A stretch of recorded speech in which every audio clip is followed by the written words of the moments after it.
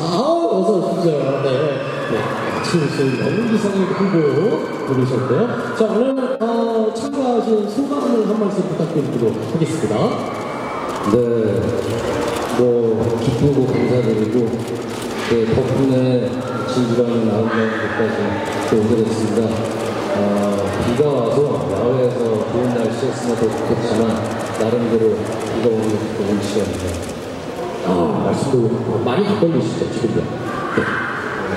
네. 네. 자, 오늘 의상 컨셉은 어디다 신경을 중점적으로 주셨을까요?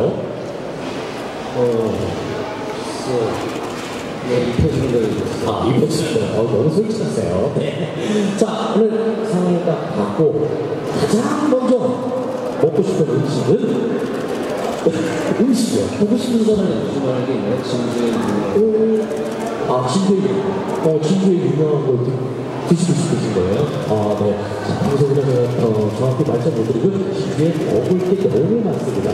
네, 그 중에 하나를 드신다는 얘기죠? 네, 알겠습니다. 오늘 들어가시기 전에 제일 중요한 거, 포즈 한번 보여주시죠. 네. 포즈를 한번 보여주시고, 마이크를 제가 들고 있도록 하겠습니다. 네.